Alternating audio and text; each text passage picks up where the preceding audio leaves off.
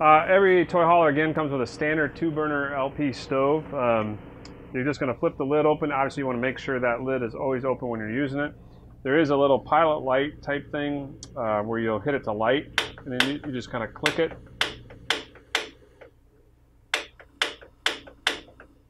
Then it comes on. You can leave it running.